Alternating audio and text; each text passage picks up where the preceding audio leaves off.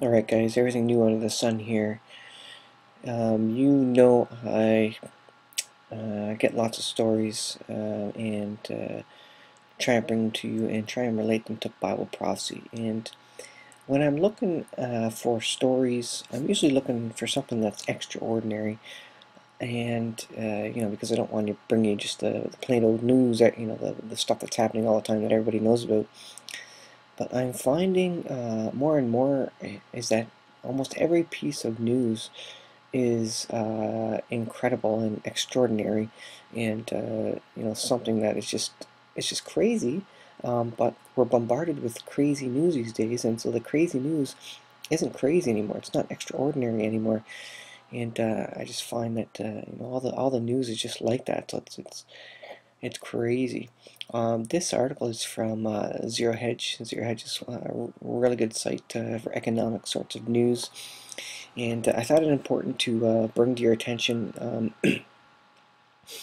if you watch other guys, and, and uh, I've uh, talked about it too a bit, um, you know, the Federal Reserve is looking to raise the rates in December, possibly, and I think the, the chairman or whatever the Federal Reserve um, was uh, hinting at uh, a rate increase and you know you know threatening it. And uh, so they're not really backing down from the rate increase. Um, but the IMF and, and you know world bodies are basically saying no don't increase uh, rates. You know the world is in a bad situation. And uh, some people out there like Gregory Mannarino thinks uh, you know maybe they're going to raise it by 25 basis basis points just to save some face say they did something um, but and so we know they're going to have a meeting in December to uh, decide whether you know to tell the world whether they're going to raise rates or not. Um, if they if, if if the rates are raised, that means the economy is doing good. If the rates are lowered uh, or stay the same, that means the economy is doing uh, bad um, or doing worse than uh, bad. And we all know it's continuing uh, to be a, a very bad situation for the economy.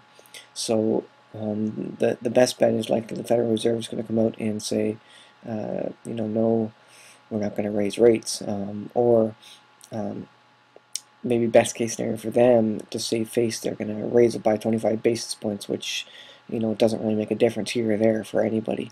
Um, so we'll see what happens, but. Again, this piece of news was interesting because um, they're apparently they're going to hold a, a special meeting on Monday. Fed to hold an expedited closed meeting on Monday given how awesome everything appears to be, and he's uh, tongue-in-cheek there, obviously, um, judging by stocks and the tidal wave of Fed speak of the last week, confirming that rates are rising in December, we found it at least marginally odd that out of the blue, the Fed uh, would announce an expedited, expedited closed meeting Monday. And uh, this is just a, meeting out of the blue that they just all of a sudden scheduled for Monday. You know, why, why would they do that? Advance notice of a meeting under expedited procedures. It is anticipated that the closed door closed meeting of the Board of Governors of the Federal Reserve System at 11:30 a.m. Monday, November the 23rd, will be held under expedited procedure as set forth in section 26 LB 7 whatever that is um, uh, of the board's public uh, observation board's rules regarding the public observation of meetings yada yada yada and so on uh, matters to be considered a review and determination by the board uh, of governors of the advance and discount rates to be charged by the Federal Reserve uh, banks. And I, I, assume that means the plus or minus rates, whatever they are. You know, obviously they're not going to give away um, uh, which way they're going here. But interesting that there's a closed door meeting, and uh, you know it's a bit of an emergency meeting, and short notice, and you know that's not open to the public. It says uh, below, a final announcement of matters considered under expedited procedures will be available in the board's Freedom of Information and Public Affairs offices and on the board's website following the closed meeting. And uh, and uh, Tyler Durden here of uh, Zero Hedge says, and we are sure to be told it's probably nothing. And we we are sure to be told it's it's probably nothing. Um, you know when those notes come out.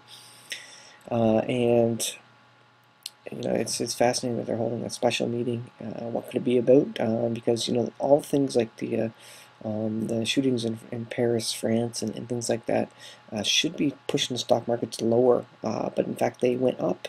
in this. Now, you know, it's just bizarre. eh, You know, bad news uh, puts the stock market up. Good news puts the stock market down. Um, and part of the reason maybe they're playing that is because um, there's uh, direct uh, artificial manipulation. Um, another part is maybe people saying, uh, you know, if, if the news is bad enough, I'm going to get in the stock market now because the Federal Reserve is going to print a bunch of new money um, to make us all feel better, and uh, and then the stock market would go up. Um, so that's kind of the bet on that side of things. Um, whereas in a normal uh, economy, bad news would mean you know lower uh, markets, obviously.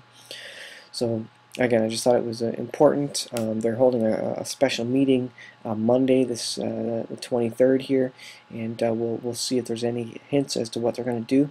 Um, but a lot of people are suggesting, you know, there's no not going to be any real rate raise, um, and it'll be interesting. I just uh, renewed my mortgage, and um, I decided uh, with my wife, obviously, I decided um, to to lock it in for for five years.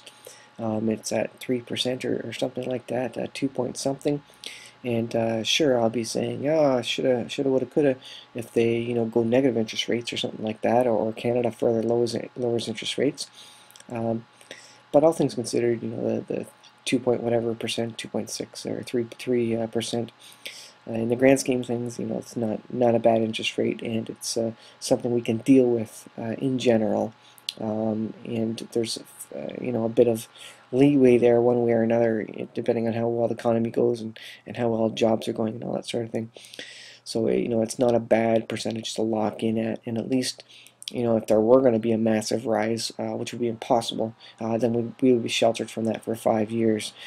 Um, but you know any any significant rate increase uh, effectively uh, will collapse the economy and most um,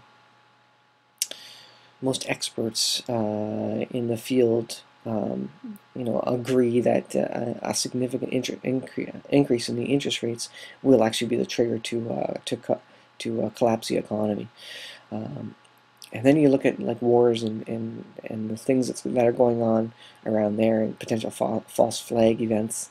Uh, you know, there's uh, potential. There's apparently a guy on Fox that said there was going to be a terrorist attack in the U.S. in the next two weeks.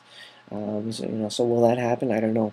Um, and, and maybe, uh, you know, Gerald Celente, he, he always says, you know, before the economy collapses, they'll lead you to war.